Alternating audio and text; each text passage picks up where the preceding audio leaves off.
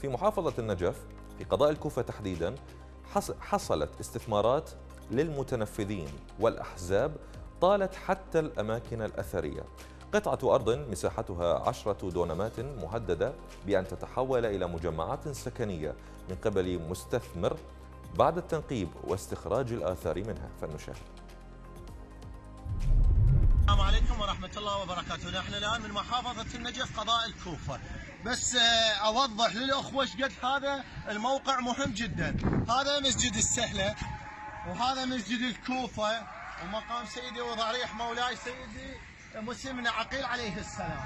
هاي الأرض أكثر مساحتها من 10 دولار إذا واضحة بالصورة.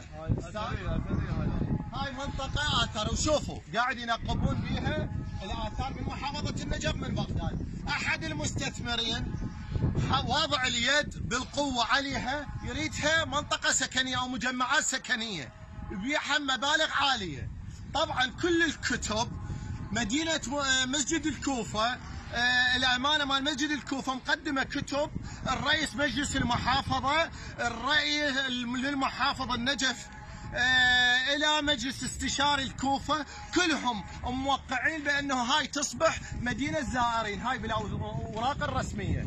كلهم موافقه المسؤولين في محافظة النجف أن تصبح مدينة زائرين إلى مسجد الكوفة. هاي العشرة دولار. المسؤول المقاول أو المستثمر مطي مبالغ عالية وجايب أهل الآثار حتى ينقبون الآثار يشيلون الآثار ويسويها مدينة.